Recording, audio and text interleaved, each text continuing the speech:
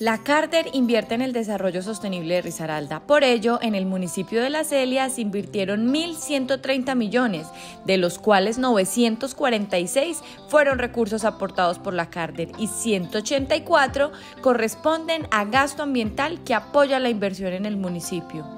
Con estas inversiones se realizaron acciones como construcción de obras de protección, colector y control torrencial de ríos monos, sector Plazuela, la construcción de 38 sistemas de tratamientos de aguas residuales domésticas en el municipio, la realización de mesas ambientales municipales cuya acta se encuentra en www.carder.gov.co en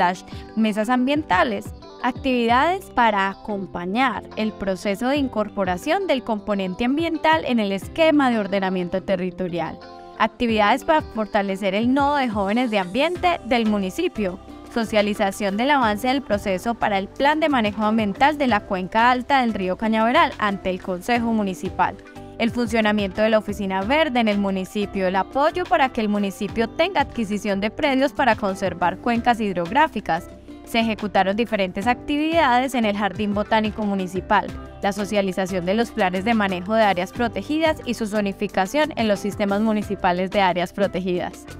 Se realizó asistencia técnica y acompañamiento al municipio en temáticas particulares en tema de gestión de riesgo y gestión del cambio climático y su incorporación en instrumentos de planificación del territorio.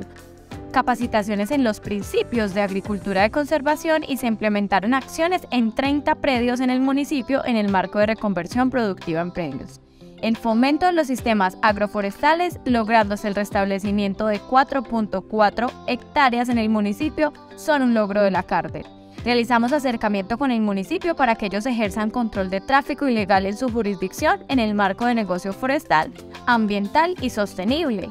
Visitas para atención de reforestadores mediante actividades grupales individuales en fincas y se establecieron ocho unidades de polonización en la vereda La Polonia como parte del programa de sistemas productivos agrícolas y ganaderos bajo reconversión reproductiva. En la Cárcel seguimos trabajando por Risaralda invirtiendo 1.130 millones en el desarrollo sostenible de la Celia.